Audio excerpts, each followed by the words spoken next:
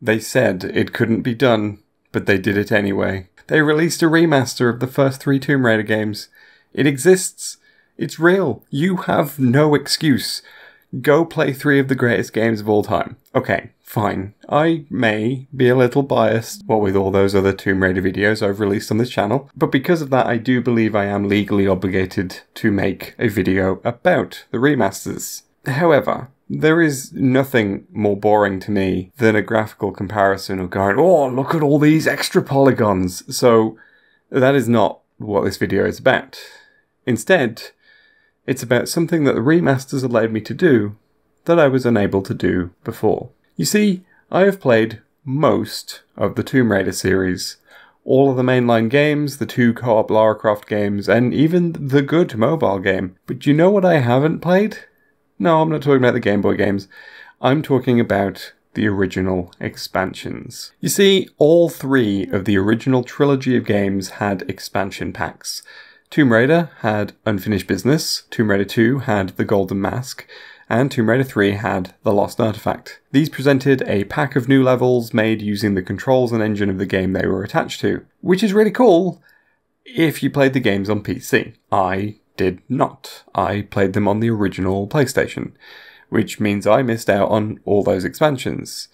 As an adult, I never got around to playing them either because by this point, the hassle of trying to figure out where to get them, how to get them to work on a modern PC, plus I'd have to buy the Steam versions, reconfigure all the controls, and honestly, I had enough hassle doing the Angel of Darkness fan patches. I don't really feel like doing all that again just to play something that is an official release. And this is where the remasters come in.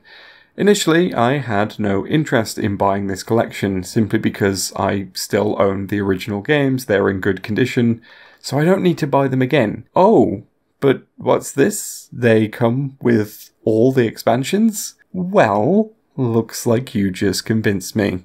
And now, 26 years on since I played the original games, I have finally played the Tomb Raider expansions without all the barriers preventing me from doing so until now. And in this video, I'm going to review each level one by one and offer my thoughts on whether it's been worth the wait.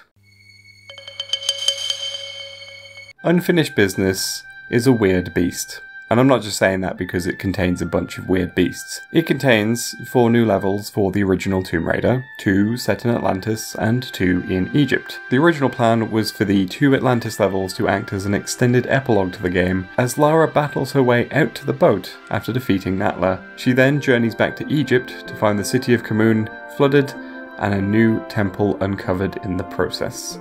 In the original release, though, these levels were flipped around. The Egypt levels came first, followed by Atlantis, requiring a retcon that stated Lara just decided to go back to the flesh pits to murder everything that was left. This made sense gameplay wise because the Atlantis levels were apparently brutal, and Eidos wanted players to be eased into the experience. This doesn't happen in the remaster though. The levels were flipped back to their original narrative arc, placing Atlantis in front of Egypt as God intended. So, with that in mind, how does this expansion stack up to the original game?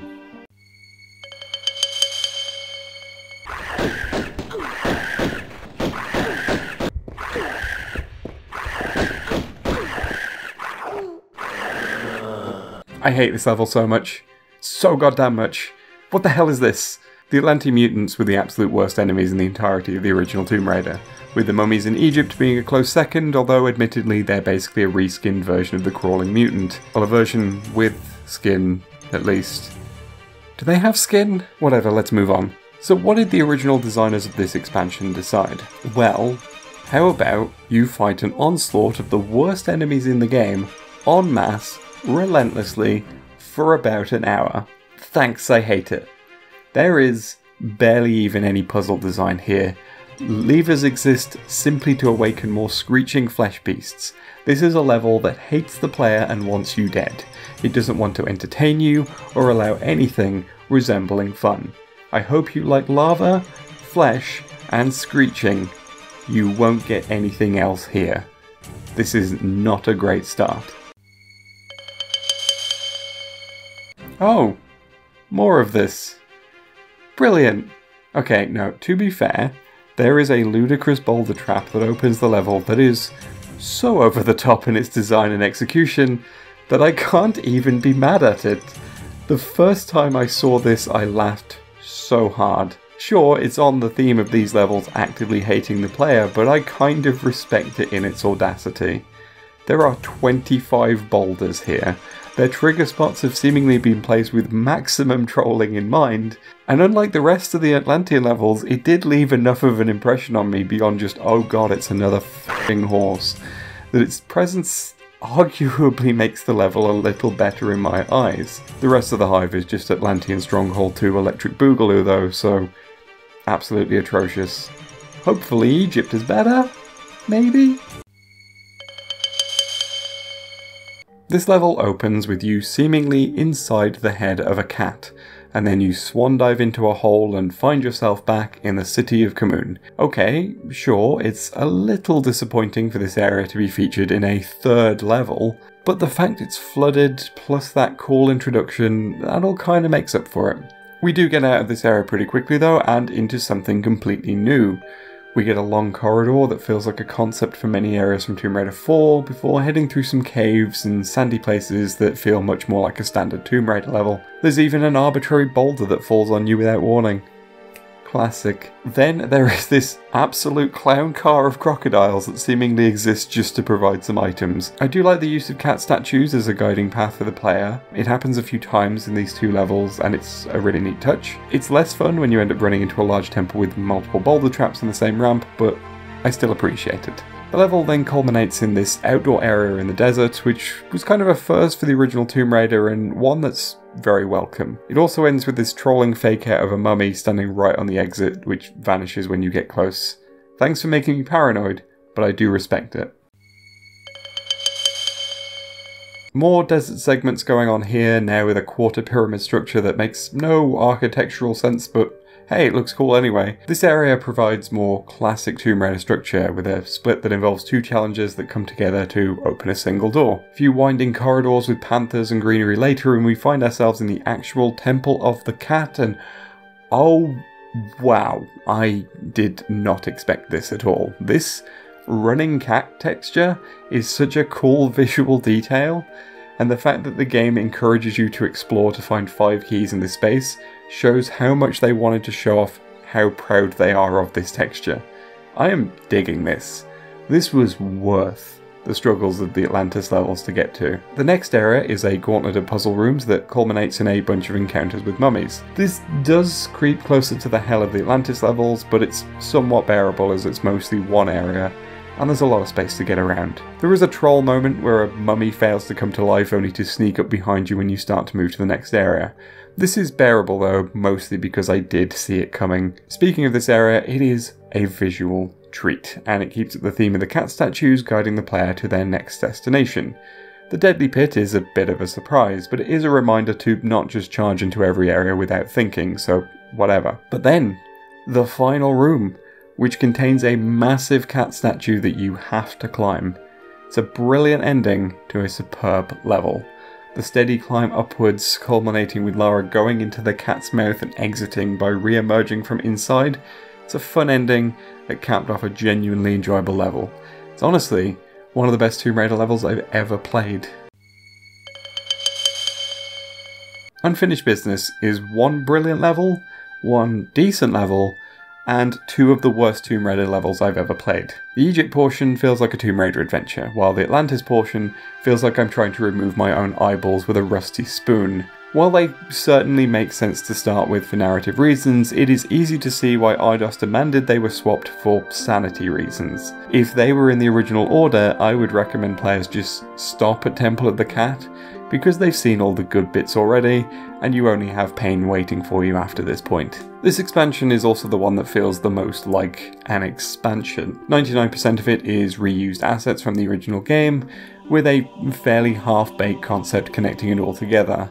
It truly is a case of more levels if you liked the original game enough. Overall, Unfinished Business is kinda weak. There's one great level, but it does not make the collection feel worth it. But hey, it was the first go of this kind of thing, so maybe things improved with later expansions. The premise of the Golden Mask is that Lara is heading to an island in the Bering Sea, sitting between the nautical borders of Russia and the United States. A Soviet base is tucked away here as they search for a golden mask that holds great power or whatever. Basically, it's an excuse to send Lara into the cold without trousers again. So one thing that was immediately obvious when I played this level was how much it felt like Tibetan foothills. A big part of this is due to asset reuse, which isn't a problem in itself, but it does leave the level with an identity problem. It's supposed to be an island bordering Russia and Alaska, but it still feels like Tibet. Sure, there's a few hammer and sickles around, but that doesn't feel like enough. That said, this is a fun level. The little segments of a base within the mountainous setting provides a nice contrast as you move between the two, and of course we get the snowmobile back, although I don't feel it was quite used to its full potential. Use it for a couple of jumps and that's about it. There are also two snowmobile aspects that I really did not like. The first is this one guy using a machine gun snowmobile that killed me repeatedly, and the second is this trap jump that only leads to death. But what did I love about this level? Well, the third secret. It's a whole separate area triggered by a frozen lake being shattered by an avalanche. Then you swim through some tunnels and emerge in a huge ice cave that you have to shatter more. You also have these invisible Inuit warriors walking around who I was fascinated by. They're reskins of the Barkhang monks from the main game, but it is a unique take that I did like. The final area was a bit lackluster as it ended up being a gauntlet of gun-toting enemies in a generic base location, but it does provide a nice bit of environmental storytelling for the next area, so I can't fault it too much. This level has big offshore rig energy. It's a modern location full of goons and most of it is just that. It even opens with you having to deal with a bunch of them.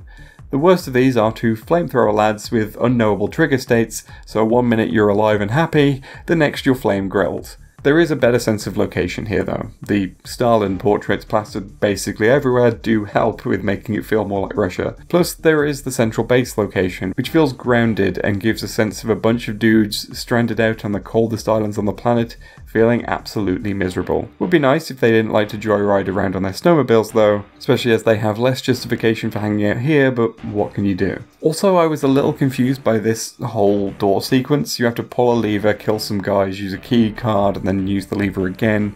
I, I didn't really get what was going on here. However, you know how I praised the previous level for ending on some solid environmental storytelling? This level does it too. We get a good reason for why these guys are hanging out here as we find an excavation into some ruins that we have to climb down into. It's a really nice touch that leads us nicely into the next level. I approve, even if the level overall is arguably the weakest of this expansion.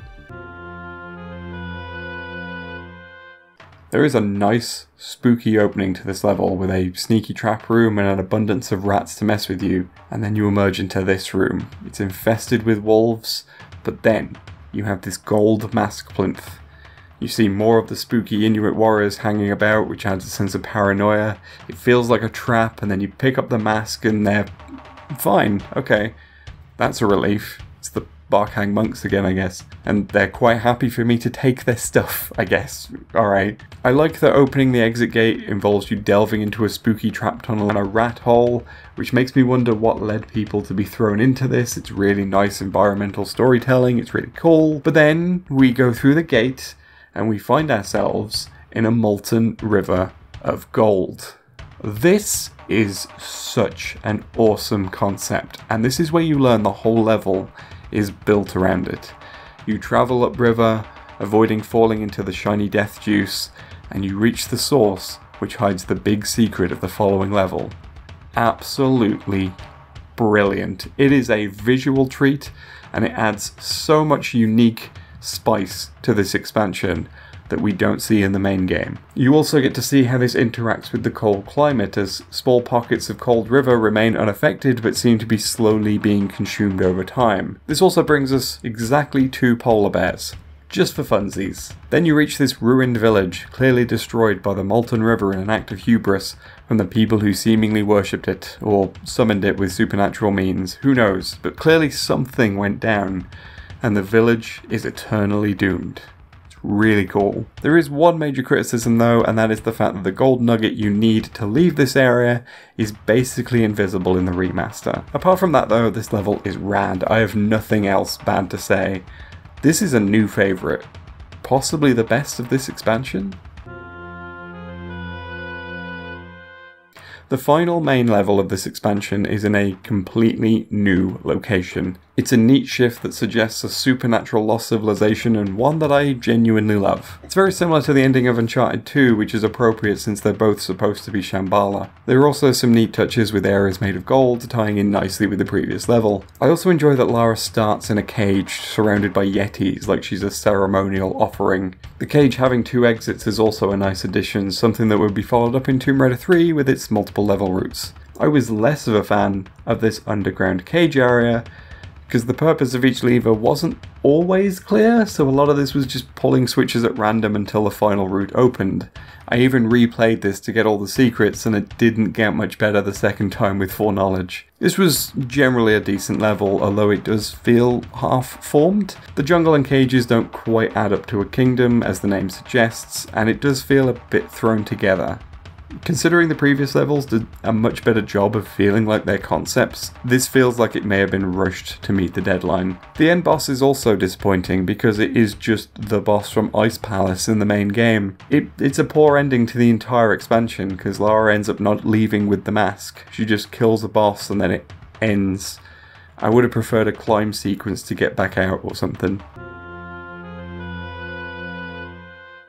So I said I played the expansion a second time to get all the secrets, and this is why. My first run was a way of reacting to levels without spoilers, but I knew that there was a fifth level, so I needed to play through and get all those secrets eventually. Nightmare in Vegas is a conceptual mess, quite frankly. It is a bunch of assets thrown together with some of the gaudiest textures I have ever seen in a Tomb Raider game. Its structure is mostly just finding a way to fight a series of bosses, and then it just sort of ends. And yet, I kind of love it. The gaudiness is inherently part of the charm, especially as the level is supposed to be a literal nightmare and quite literally in Vegas. It feels like a fever dream as Lara's subconscious smushes her various adventures together in the ugliest hotel known to existence, but also, Vegas isn't exactly known for its class, let's be honest. The level does seem to know it's silly though, which helps. The posters for the exhibit are playful in their design, and the warning not to climb on the sculpture after you've already climbed down on it is genuinely funny. This is the designers having a good time and doing whatever random thing they feel like, and for that I, I respect it.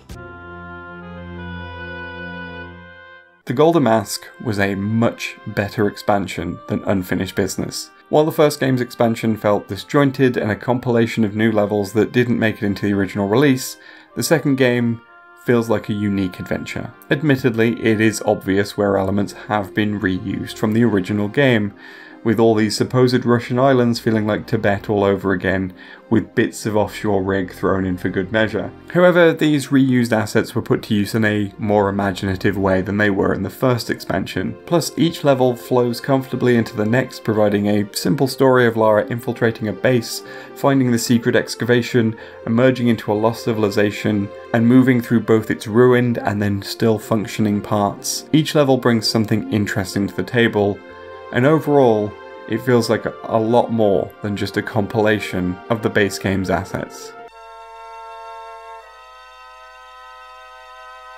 The Lost Artifact conceptually occupies a position similar to both the other expansions. It's a unique adventure with its own locations like the second game, but it's explicitly an epilogue to the original game, much like the first expansion. The Lost Artifact takes place some time after the events of Tomb Raider 3. Lara learns that there was a fifth meteorite artifact, and that Dr. Willard has it locked up in his castle in Scotland.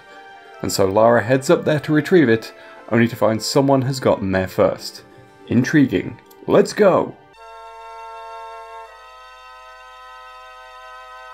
Instantly, we get a neat little intro that sets the tone of the expansion. We emerge outside Willard's castle with an overgrown gate that we just have to climb over to get in. This leads us out into a flooded courtyard area, and this is where I have to admit the castle setting is cool. Really cool. In fact, I'm pretty sure this is the only time the classic series went to a castle, which is surprising. It's the perfect Tomb Raider setting and they made good use of it here.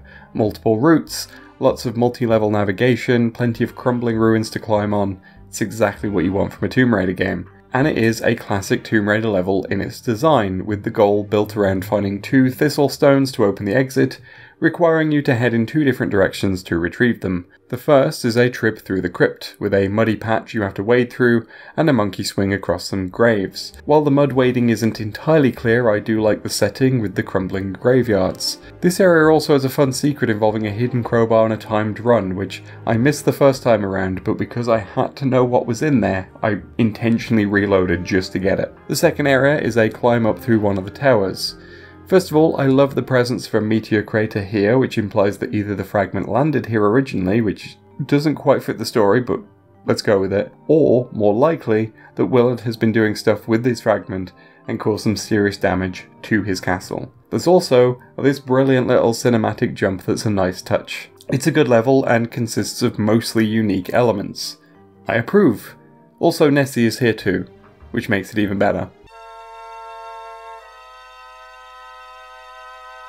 Oh, okay, this level wants to be mean. Right out of the gate, Willard's lair is determined to murder you in increasingly creative ways. Trying to escape a boulder trap? Sorry, there are spike traps all the way down. See this basic corridor? Sliding spike traps. These rooms? Sliding spike walls.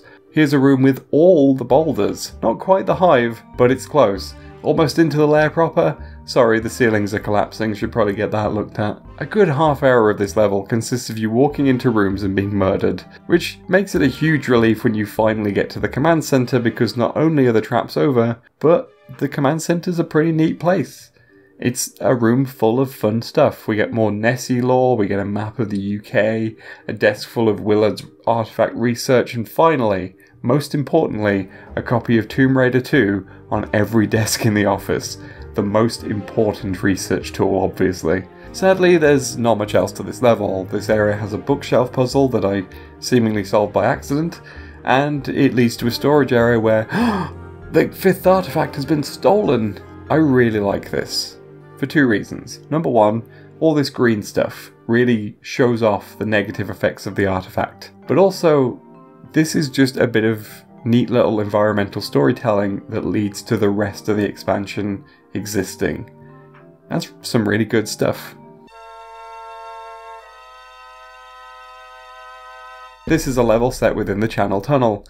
I like to think of it as a counterpart to the main game's Aldwych, except where that level has Lara infiltrating an abandoned historical underground railway, one that's been out of use for decades. This level has her infiltrating the construction site of a new underground railway. So instead of seeing an approximation of the Transport for London roundel everywhere, you get to see a trademark skirting Eurostar logo instead. Sadly, it's not a super visually interesting level as a result. Unlike the Tube with its historical stations and iconography, the Channel Tunnel really is just a big undersea tunnel with some rail tracks in it, which is mostly what you're seeing here along with other industrial paraphernalia. Plus, these lads in jumpsuits just trying to do their jobs and wondering why a random woman is breaking into their operations. There are a few confusing areas in this level. For instance, it's not clear when you need to shoot some vents out in certain places, this drill pit does not have an obvious route through, and the final puzzle is strange because it's not obvious what the big drill is opening. Also, while the quad bike is great, it does get a little confusing where you need to go with it once you reach a downwards pit.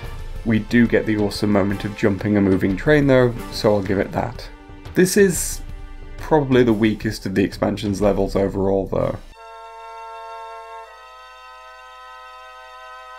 If Fool's Gold and the Golden Mask had strong offshore rig vibes, this is that on steroids. That said, I do kind of like the structure of this level. We've got a bunch of big submersibles all strung together in the English Channel, creating a weird supervillain underwater base. It's kind of a neat idea and it opens up more possibilities than an industrial train tunnel. That said, this area took way too long to get through. I managed to find both the circuit bulbs I needed to progress, but I couldn't figure out where I had to place them, so that was kind of annoying. I did like the presence of weird mutant fish though, especially with the implications from Willard's lair that these may be prototypes for their own Super Nessies, bringing together some neat storytelling from the expansion. And speaking of weird mutants, this whole lab area is so cool for that exact same reason. Just look at these mutant designs. Like, these guys don't attack you, but it's just, unsettling that they're just floating there menacingly. It's a decent level all round. Plus, it ends with more of that environmental storytelling that I keep harping on about. Lara emerges from a submersible in the channel so she can head in a boat towards Paris, and also you freed a dolphin in the process. So, everyone's a winner.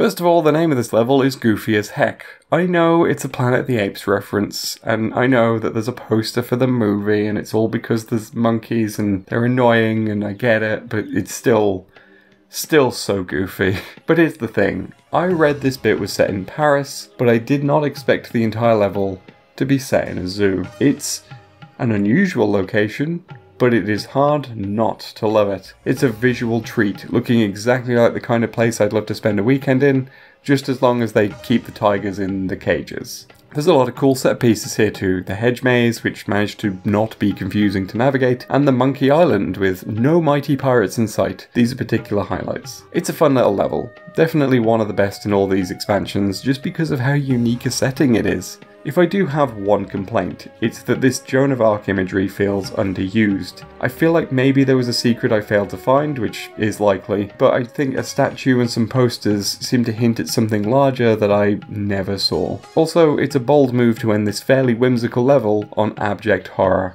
Yes, please place the artifact in this chest cavity in a room full of floating bodies. It's just a really nice ending. It's just emotional whiplash, but it does lead us nicely into the next level. Uh, no! No, no, no, no, no, no! Why? Oh, I see how it is, Tomb Raider 3. This is my reward for getting this far, is it? Crush me with an unexpected boulder right out of the loading screen. Bastards. Anyway, this continues the horror of the previous level's ending, and that is a good thing. The creepy, heartless guys and the ethereal green pits evoke something. I'm not sure what, but it definitely illustrates the aggressive weirdness of the artifact's magic. Also, there's a gruesome flesh pit and you have to leap of faith over it, so all of that's pretty cool. What's less cool is what follows the promising intro.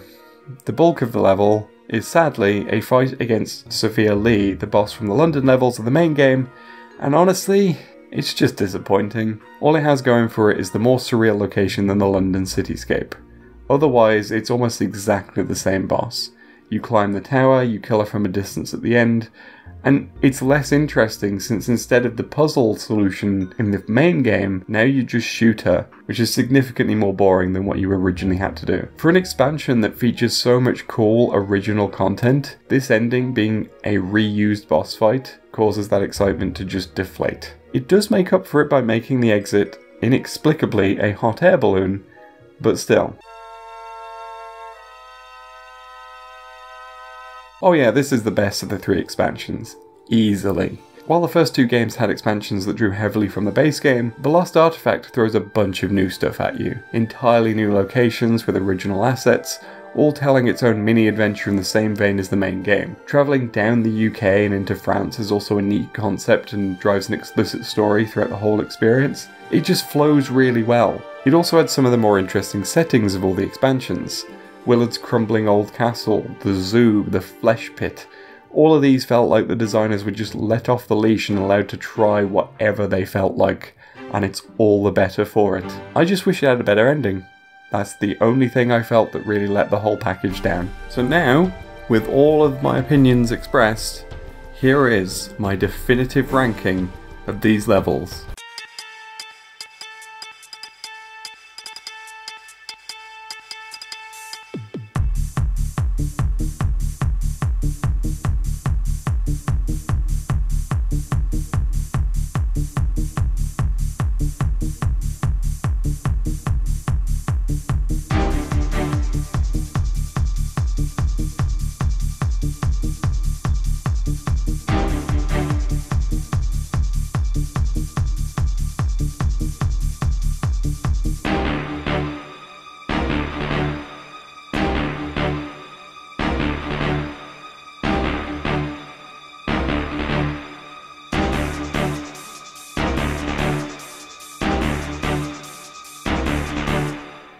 I stand by this order, and I will not be moved on this.